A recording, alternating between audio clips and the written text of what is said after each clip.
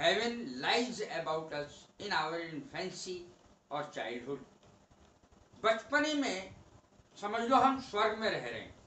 बच्चे को कुछ नहीं पता। कहाँ से क्या आ रहा है, क्या खाने को आ रहा है, कहाँ से आ रहा है। उसे कुछ नहीं पता, उसे कोई चिंता नहीं किसी प्रकार की। तो ये चिंता का किसी प्रकार की ना होना ही स्वर्ग तो बच्चे तो ज़्यादातर स्वर्ग में ही निवास करते हैं। स्वर्ग ही, जैसा ही उनको महसूस होता है, क्योंकि उनको सब प्यार करते हैं। कोई उनसे नाराज़ भी नहीं होता। तो वो ज़्यादातर वो बहुत ही अच्छा महसूस करते हैं और उन्हें कोई चिंता भी नहीं होती। आज मैं ट्रांसलेशन ले रहा हूँ। ये इसका तीसरा भाग है।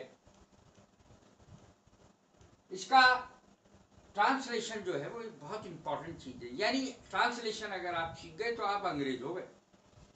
फिर आपको शब्द कोश की तो ज़रूरत है। शब्द संग्रह आपका वोकेबलरी स्ट्रांग होनी चाहिए। फिर आपको कुछ, कोई डर नहीं है। ट्रांसलेशन इतनी ज़रूरी चीज़ है। तो मैं ट्रांसलेशन की सारी बातें बताऊँगा, जिससे कि आप समझ सकें उसको और फिर उसके बाद बोल सकें। ट्रांसलेशन अनुवाद इसको हिंदी में कहते हैं। हिंदी से अंग्रेज़ी में वाक्य कैसे बनाएँ, ये तो हर एक के लिए एक समस्या है। जो हिंदी जानता है, उसके लिए तो अंग्रेज़ी बनाना समस्या है ही। लेकिन यदि आप थोड़ा भी अध्ययन करें, पढ़ें तो कोई समस्या नहीं है ये। आसान है सब कुछ। बहुत आसान है। देखें अभी आप। पहला नियम है ट्रांसलेशन बनाने का, आज का। पहले मैं कई बता चुका हूँ। आज का पहला नियम है, यदि ऑल दो, या दो के बाद यट ना भी लगे तो जो कॉमा लगाते हैं हम, उसका अर्थ फिर भी होता है। जैसे कभी कभी सेंटेंस में आप देखेंगे कि यट लगा हुआ है, कभी देखेंगे उसकी जगह कॉमा है तो आप कंफ्यूज हो जाएँगे। इस कंफ्यूजन को दूर करने के लिए मैं फिर बताता हूँ। ऑल दो ही इज़ पुअर यद्यपि वह गरीब है ही इज़ ऑनेस्ट लेकिन वो ईमानदार है, फिर भी वो ईमानदार है। यहाँ पे अर्थ आएगा, फिर भी वो ईमानदार है। अब यट तो हमने लगाया नहीं। यट लगाते या ना लगाने से क्या फ़र्क पड़ता है? देखें। इसकी जगह हम जट की जगह कौमा लगा सकते हैं और इस कौमे का अर्थ ही फिर भी हुआ कौमे का जो अर्थ निकलेगा, वो फिर भी निकलेगा। अब देखें ऑल दो ही इज़ पुअर यद्यपि बहुत गरीब है, वह गरीब है ही इज़ ऑनेस्ट फिर भी वो ईमानदार है। तो एक चीज़ और मैं बताना चाहूँगा कि एक शब्द है comma.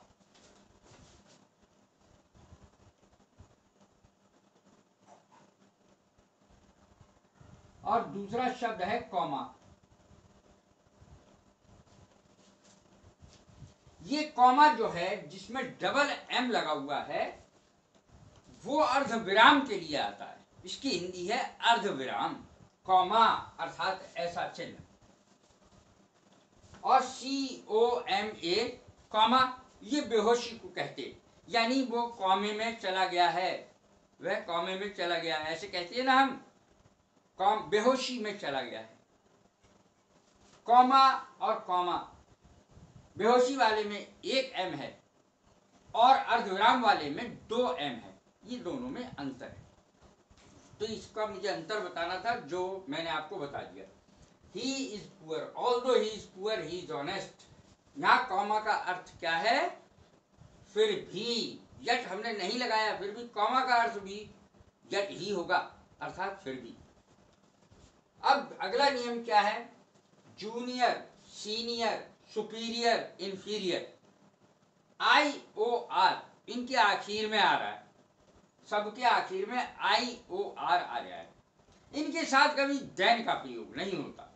T H A N अपेक्षाकृत के लिए दैन का प्रयोग होता है, लेकिन इसमें अपेक्षाकृत के लिए टू का प्रयोग होगा टी ओ टू लेकिन वहाँ पर अपेक्षाकृत इसका अर्थ नहीं होगा, से होगा। अर्थ होगा से टू का अर्थ होगा से।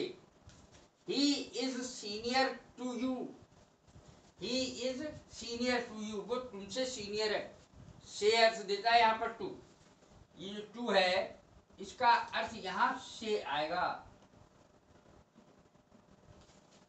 अपेक्षा करते से he is senior to you वह तुमसे सीनियर है, वरिष्ठ है। तो ये से शब्द का अर्थ देगा। टू यहाँ पर। नियम नंबर तीन who W H O who who माने कौन? W H O who who माने कौन? ये अर्थ सब जानते हैं। हु का अर्थ जो भी होता है और जिसने भी होता है। और कौन भी होता है। तीनों अर्थ होते हैं इसी के। जो या जिसने या कौन।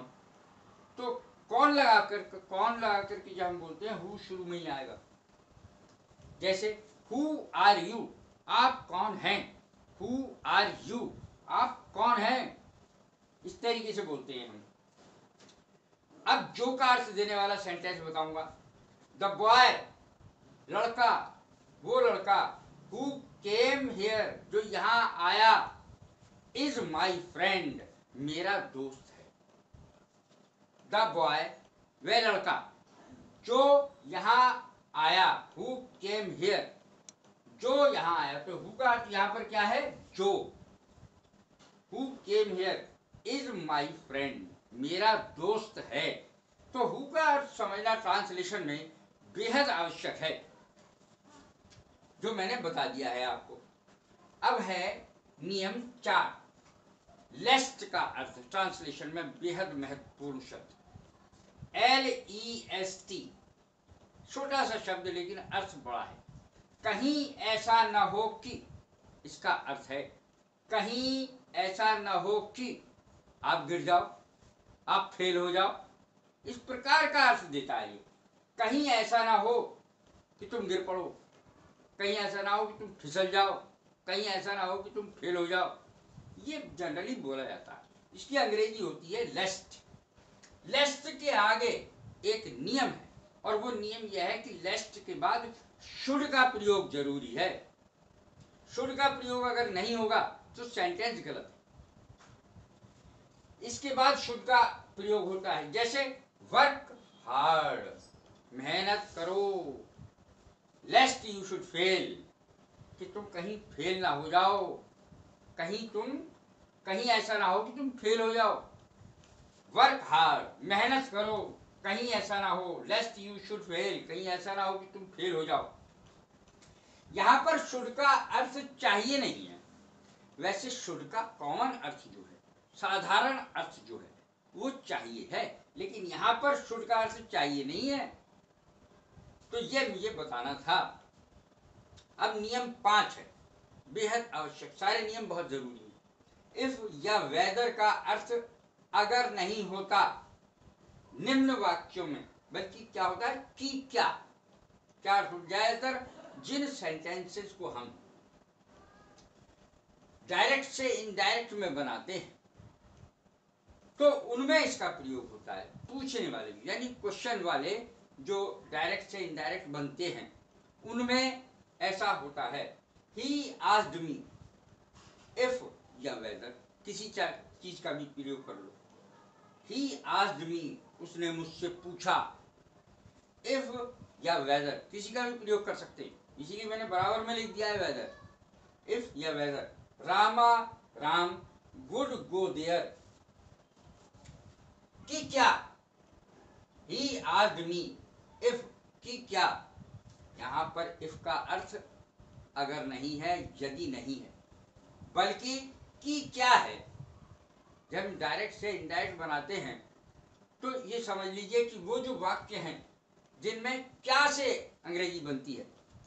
जैसे am I correct am I correct तो इस प्रकार के जो सेंटेंस होते हैं, जो क्या से बनते हैं तो उसको जब इनडायरेक्ट में हम बदलते हैं तो क्या करते हैं हम? कि इससे उसकी अंग्रेज़ी बनाते हैं। ही आज मी इफ़ वेदर किसी का प्रयोग कर लीजिए। राम वुड गो देयर उसने मुझसे पूछा कि क्या राम वहाँ जाएगा? उसने मुझसे पूछा कि क्या राम वहाँ जाएगा? मेरे कहने का अर्थ यह है कि यहाँ पर इफ़ का अर्थ अगर नहीं होकर के की क्या है? तो ये ज़रूरी नहीं कि इफ़ का हर अर्थ जो है हर जगह अगर या यदि हो। यहाँ पर इसका अर्थ की क्या है, ये मुझे मेनली बताना था। अब नियम छह है। वेदर वेदर के साथ यदि और नॉट आए तो इसका अर्थ होता है कि। अब अर्थ फिर बदल गया वेदर वेदर का अर्थ अभी तो की क्या था? और अभी है कि। जैसे I do not know whether he will come or not मुझे नहीं पता। आई डू नॉट नो मुझे नहीं पता वेदर ही विल कम और नॉट वो आएगा कि नहीं, मुझे नहीं पता। तो इस प्रकार का जो अर्थ है, वो वेदर के साथ इसमें देखें आप आई डू नॉट नो मैं नहीं जानता। आई डोंट नो शॉर्ट में कहते हैं I don't know do not को डोंट बोलते हैं शॉर्ट में. I do not know whether he will come or not कि वो आएगा कि नहीं? आई डू नॉट नो मुझे नहीं पता. मुझे नहीं पता कि वो आएगा या नहीं. वेदर ही विल कम और नॉट तो इसका अर्थ यहाँ पर की से लग रहा है वेदर का अर्थ. और इस प्रकार से ये सेंटेंस के नियम हैं। जो बताए जाने चाहिए और मैंने बताए अब इस सेंटेंस पर दोबारा आना चाहता हूँ मैं इफ़ या वेदर वाला। देखें ही आस्ड मी तो ये किसका इनडायरेक्ट बना? ये देखना है। तो जब हम सेंटेंसेस वो वाले लेते हैं, जिनमें क्या शब्द पहले प्रयुक्त होता है तो सहायक क्रिया शुरू में आ जाती है। सहायक क्रिया शुरू में आ जाती है उन सेंटेंसेस के जिनके सेंटेंस के हिंदी में क्या शब्द का यूज़ होता है? प्रारंभ में तो ये वो वाले सेंटेंस हैं। ही आस्ड मी उसने मुझसे पूछा। अब जैसे ही सेट टू मी यहाँ पर जो ओरिजिनल सेंटेंस ये इनडायरेक्ट है। डायरेक्ट सेंटेंस इसका है he said to me will Ram go there will Ram go there उसका ये इनडायरेक्ट है। देखें आज में बदल जाएगा सेट ही आज मी इफ़ तो ऐसे सेंटेंसेस में क्या होता है जो सहायक क्रिया से बनते हैं विल या शैल का शुरू में प्रयोग करके। तो उन सेंटेंसेस में इफ़ या वेदर का प्रयोग किया जाता है इन्वर्टेड कॉमास हटाकर। इफ़ या वेदर शुरू में ही आ जाएगा। ही आस्ड मी ही आस्ड मी अब विल का वुड हो जाएगा? विल का वुड हो जाएगा? जो बीच में चला जाएगा। यहाँ पर विल शब्द से पहले, अर्थात जहाँ पर विल लगा हुआ था, वहाँ पर इफ़ या वेदर यूज़ हो जाएगा। और सेंटेंस बन जाएगा, Ram would go there will Ram go there का क्या बनेगा? If Ram would go there will का वुड हो जाता है शैल का शुड हो जाता है, लेकिन कर्ता के हिसाब से होता है। जैसा कर्ता होगा। तो ये मुझे बताना था ये अब आपकी समझ में आ गया होगा डायरेक्ट इनडायरेक्ट वाला सेंटेंस होने के कारण मैंने इसकी व्याख्या दी अब मैंने जो बताना है, वो है एक वाक्य जो मैं अंत में देता ही हूँ। मैं इतना पागल नहीं हूँ कि तुम पर विश्वास कर लो। ये ऐसे, एक ऐसा सेंटेंस बहुत ही कॉमन है।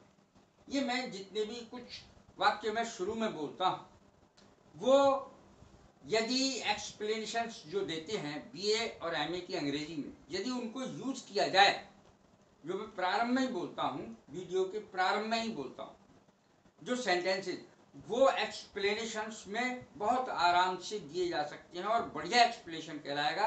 इंग्लिश में जो लिटरेचर होती है, उसमें एक्सप्लेनेशंस में वो आप आराम से लिख सकते हैं बीए में भी और एमए में भी। वो बहुत ही काम के हैं और उनका यूज़ खूब किया जा सकता है। एक्सप्लेनेशन में आपका एक्सप्लेनेशन बहुत बढ़िया कहलाएगा। ऐसे ही मैं कुछ सेंटेंस ये अनुवाद के बाद भी बता, बताता हूँ। एक आध सेंटेंस लेकिन वो अच्छा होगा, जो जनरल भाषा में हम बोलते हैं और हम उसकी अंग्रेज़ी नहीं जान पाते। ऐसे सेंटेंस को मैं दे देता हूँ। तो मैंने आज दिया है इस वीडियो में, मैं इतना पागल नहीं हूँ। कि तुम पर विश्वास कर लूँ। ये आम तौर पर बोले जाने वाला सेंटेंस है। तो इसकी अंग्रेज़ी कैसे बनेगी बताता हूँ। I am not so much of fool मैं इतना पागल नहीं हूँ। I am not so much of fool that की आई ट्रस्ट यू मैं तुम पर विश्वास कर लूँ। फिर से देखें। I am not so much of fool मैं इतना पागल नहीं हूँ। मैं इतना मूर्ख नहीं हूँ कि तुम पर विश्वास कर लूँ। That I trust you trust माने विश्वास करना, यकीन करना। फिर देखें I am not so much of fool मैं इतना मूर्ख नहीं हूँ कि तुम पर यकीन कर लूँ। दैट आई ट्रस्ट यू कि मैं तुम पर यकीन कर लूँ, विश्वास कर लूँ, भरोसा कर लूँ। तो ये यदि मेरी जो वीडियो है आज की, यदि आपको पसंद आ रही हो तो लाइक करें शेयर करें सब्सक्राइब करें। God bless you thank you very much